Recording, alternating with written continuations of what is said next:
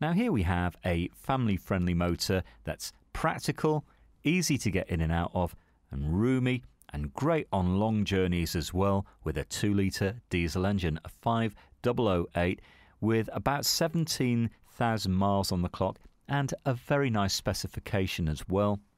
Get inside a cloth interior. This has uh, all the right ingredients like Bluetooth and parking sensors satellite navigation. So, all good news. And um, the 2 litre diesel, coupled with the automatic gearbox, returning about 40 to the gallon combined.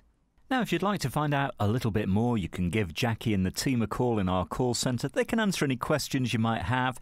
You can reserve this car for up to 48 hours. There's no deposit, no obligation. Bring your licence with you. Have a test drive Come and discover this great car for yourself at Fords of Winsford.